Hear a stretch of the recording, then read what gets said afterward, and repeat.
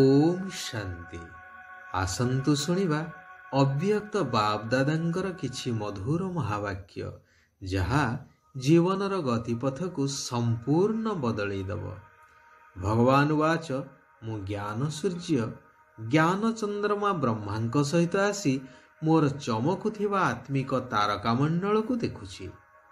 ଆକାଶରେ ଚମକୁଥିବା ତାରାମାନେ ପ୍ରକୃତିର ଶୋଭା କିନ୍ତୁ ତୁମେ ହେଉଛ ଚୈତନ୍ୟ ଆତ୍ମିକ ତାରକା ଯେପରି ଅନ୍ଧକାର ରାତିରେ ତାରକାମାନେ ପ୍ରକଟ ହୋଇଥାନ୍ତି ଠିକ୍ ସେହିପରି ବ୍ରହ୍ମାଙ୍କର ରାତି ଅର୍ଥାତ୍ ସାରା ବିଶ୍ୱ ଯେତେବେଳେ ବିକାର ରୂପୀ ମାୟାର ବଶବର୍ତ୍ତୀ ହୋଇ ଅଜ୍ଞାନ ରୂପୀ ଅନ୍ଧକାରରେ ଥାଏ ସେହି ସମୟରେ ତୁମେ ଆତ୍ମିକ ତାରକାମାନେ ଜ୍ଞାନ ସୂର୍ଯ୍ୟ ପରମାତ୍ମା ଏବଂ ଜ୍ଞାନ ଚନ୍ଦ୍ରମା ବ୍ରହ୍ମାଙ୍କୁ ସାଥିରେ ପ୍ରକଟ ହୋଇ ଅଜ୍ଞାନ ଅନ୍ଧକାରକୁ ଦୂରେଇ ଦେଇ ଦିନ ଅର୍ଥାତ୍ ସତ୍ୟ ଯୁଗୀ ରାଜ୍ୟର ସ୍ଥାପନା କରୁଛ।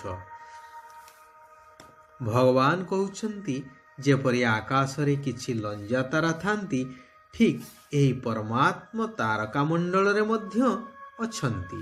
ଯେଉଁମାନେ କି ସବୁ କଥାରେ ସବୁ କାର୍ଯ୍ୟରେ ଏହା କ'ଣ ଏହା କାହିଁକି ହେଲା କିପରି ହେଲା ଏହିଭଳି ପ୍ରଶ୍ନ ପଚାରିବାର ଲମ୍ବା ବା ପ୍ରଶ୍ନବାଚକ ଚିହ୍ନ ଭଳି ଲାଞ୍ଜ ଦେଖାଉଥିବା ତାରକା ମଧ୍ୟ ଅଛନ୍ତି। ଯେପରି ଲଞ୍ଜା ତାରା ପୃଥିବୀ ଉପରେ ପ୍ରଭାବ ବିସ୍ତାର କରିଥାଏ ଠିକ୍ ସେହିପରି ଏହିଭଳି ପ୍ରଶ୍ନ କରୁଥିବା ଆତ୍ମା ସ୍ୱରୂପ ତାରକାମାନେ ମଧ୍ୟ ବାତାବରଣକୁ ଭାରି କରି ଦେଇଥାନ୍ତି ଏବଂ ନିଜେ ମଧ୍ୟ ଅଶାନ୍ତିର ଅନୁଭବ କରିଥାନ୍ତି। କେତେକ ତାରକା ଯେପରି ଆକାଶରୁ ତଳକୁ ଖସି ପଡ଼ନ୍ତି ଏବଂ ପଥର ହେଇଯାଆନ୍ତି ଠିକ୍ ଏଠାରେ ମଧ୍ୟ କିଛି ଆତ୍ମିକ ତାରକା ଏହିଭଳି ଅଛନ୍ତି। ଯେପରି ପଥର ଉପରେ ଯେତେ ପାଣି ଢାଳିଲେ ତାହା ତରଳି ନଥାଏ ଠିକ୍ ଏଠାରେ ସେହିଭଳି ପଥର ବୁଦ୍ଧି ଆତ୍ମା ତାଙ୍କ ଉପରେ ଯେତେ ଜ୍ଞାନ ରୂପକ ଜଳସିଞ୍ଚନ କଲେ ମଧ୍ୟ ସେମାନେ କିଛି ବି ବୁଝନ୍ତି ନାହିଁ। ବାବା କହୁଛନ୍ତି ସବୁଠାରୁ ଶ୍ରେଷ୍ଠ ହେଉଛନ୍ତି ସଫଳତାର ତାରକା।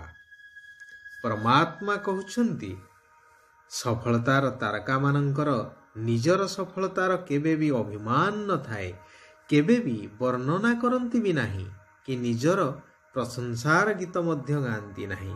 କିନ୍ତୁ ଯେତିକି ସଫଳତା ସେତିକି ନମ୍ରତା ଅର୍ଥାତ୍ ନମ୍ରଚିତ ନିର୍ମାଣ ନିର୍ମଳ ସ୍ୱଭାବର ହୁଅନ୍ତି। ଅନ୍ୟମାନେ ତାଙ୍କର ପ୍ରଶଂସା ଗାନ କରୁଥିଲେ ବି ସେ ସଦାସର୍ବଦା ବାବାଙ୍କର ଗୁଣଗାନ କରିଥାନ୍ତି।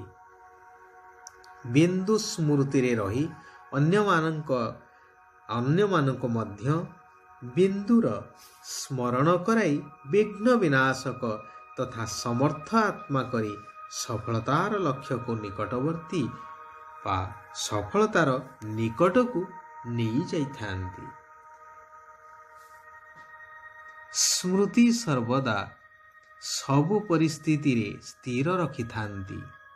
ନିଜର ସ୍ଥିତି ମଧ୍ୟ ସୁଦୃଢ଼ କରିଥାନ୍ତି।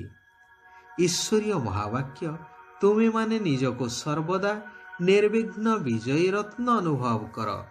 ବିଘ୍ନକୁ ଏକ ମନୋରଞ୍ଜନର ଖେଳ ମନେ କରି ଅତିକ୍ରମ କରିଯାଅ। କାରଣ ସର୍ବଶକ୍ତିମାନ ବାବା ସର୍ବଦା ତୁମ ସାଥିରେ ଅଛନ୍ତି।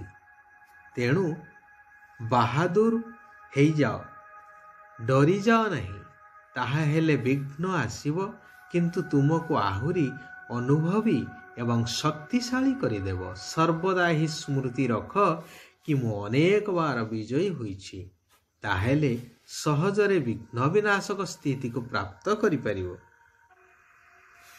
ବାବା କହୁଛନ୍ତି ନିଜକୁ ଆତ୍ମିକ ବଗିଚାର ମାଲିକ ଅର୍ଥାତ୍ ଆତ୍ମିକ ଆତ୍ମିକ ବଗିଚାର ଗୋଲାପ ଅନୁଭବ କର। ନିଜର ସୁଗନ୍ଧକୁ ଚତୁର୍ଦିଗରେ ମହକାଇ ଦିଅ। ଭଗବାନ ୱାଚ ସେବାରେ ସଫଳତାର ଆଧାର ହେଲା ଶୁଭ ଚିନ୍ତନ ବା ଶୁଭ ଚିନ୍ତକ ମନୋବୃତ୍ତି କାହିଁକି ନା ତୁମମାନଙ୍କର ଏହିଭଳି ମନୋବୃତ୍ତି ଆତ୍ମାମାନଙ୍କର ଗ୍ରହ ଗ୍ରହଣ ଶକ୍ତିକୁ ବା ଜିଜ୍ଞାସାକୁ ବଢ଼େଇ ଦେଇଥାଏ ଯାହାଦ୍ୱାରା ବାଣୀ ଦ୍ୱାରା ସେବା କରିବା ସହଜରେ ସଫଳ ହୋଇଯାଏ ଏବଂ ନିଜ ପ୍ରତି ସ୍ୱଚିନ୍ତନ କରୁଥିବା ଶୁଭଚିନ୍ତକ ଆତ୍ମା ସର୍ବଦା ମାୟାଠାରୁ ମୁକ୍ତ। କାହାର ବି ଦୋଷ ଦୁର୍ବଳତାକୁ ଗ୍ରହଣ କରିବାର ଠାରୁ ମୁକ୍ତ ଏବଂ କୌଣସି ବ୍ୟକ୍ତି ବା ବୈଭବ ଠାରୁ ଆକର୍ଷଣ ଠାରୁ ମୁକ୍ତ ହୋଇଥାନ୍ତି। ଏହି ଦୁଇଟି ଯାକ ବରଦାନକୁ ବାସ୍ତବ ଜୀବନରେ ଆଣିଲେ ପ୍ରତ୍ୟକ୍ଷ ତାର ସମୟ ନିକଟବର୍ତ୍ତୀ ହୋଇଯିବ।